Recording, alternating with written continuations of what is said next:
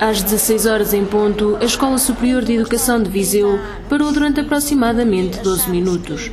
A primeira escola superior de educação a entrar em funcionamento do país manifestou assim o seu descontentamento contra a intervenção pública do ministro Nuno Crato, que em dezembro pôs em causa a qualidade da formação realizada nas escolas superiores de educação.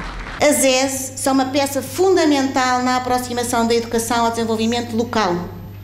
A sua forte implantação regional, a par de outras escolas dos institutos politécnicos, aproximou o ensino superior das populações.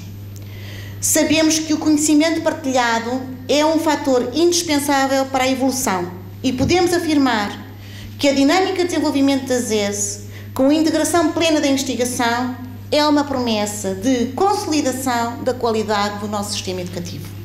Alunos, funcionários e professores da Superior de Educação de Viseu fizeram uma pausa no trabalho e reuniram-se no átrio do estabelecimento escolar, onde foi lido o manifesto de esclarecimento e divulgação do trabalho realizado naquela escola.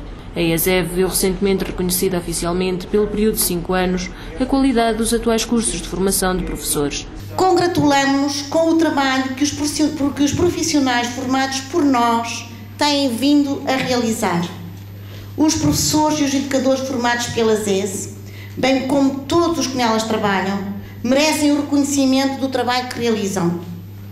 É imperioso que se valorize o trabalho desenvolvido, desenvolvido em vez de instalar a desconfiança sobre a qualidade dos profissionais da educação formados nas escolas superiores de educação de Viseu.